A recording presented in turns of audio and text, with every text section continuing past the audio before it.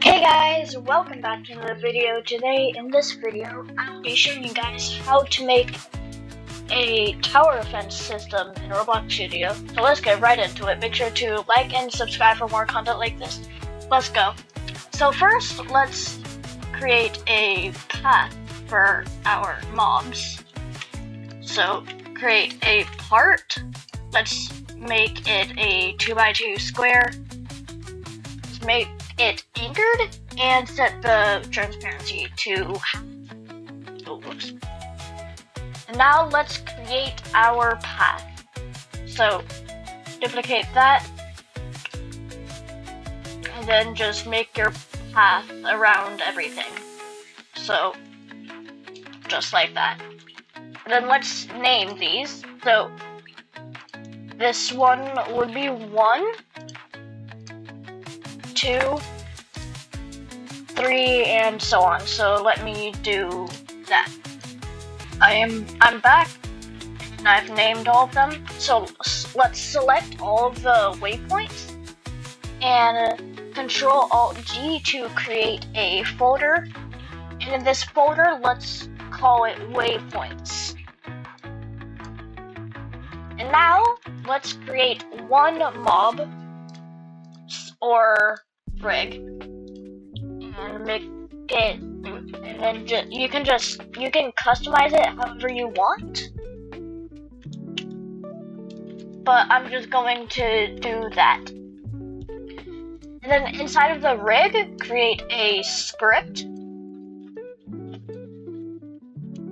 And then inside of the script let's create it's let's make it so it travels along the waypoints. So let's do local waypoints. I cannot spell. Waypoints equals workspace find first child waypoints. And then if not for if waypoints then and then else warn could not find waypoints folder inside of workspace. And then if there is a waypoints folder, then let's do for number, comma, waypoint in, in, wait, no. Let's do for waypoint equals one, comma,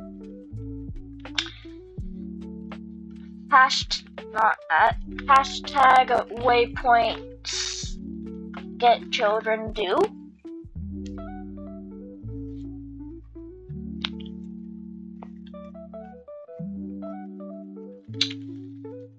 Script, no. Let's do local rig equals script.parent. Local humanoid equals rig by first child humanoid humanoid move? And then waypoints?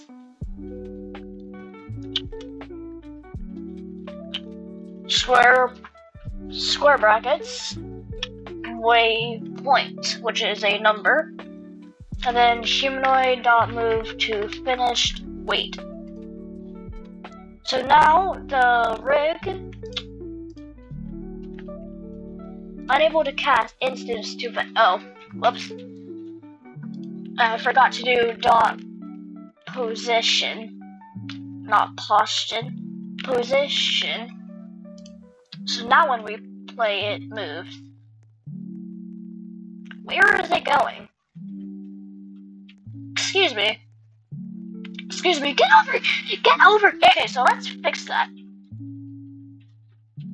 So, print waypoints waypoint. So one.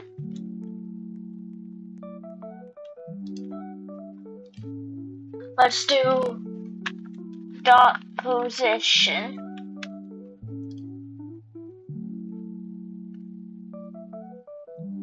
So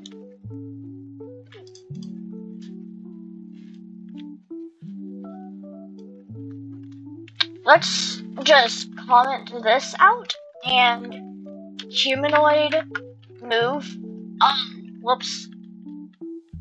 So undo that, and it's not it's not move, it's move to. And I forgot to put the move to finished. Wait.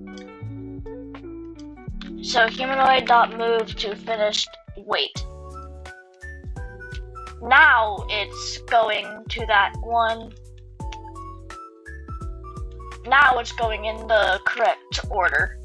So real quick, let's make the waypoints not collidable, so it doesn't like walk over them.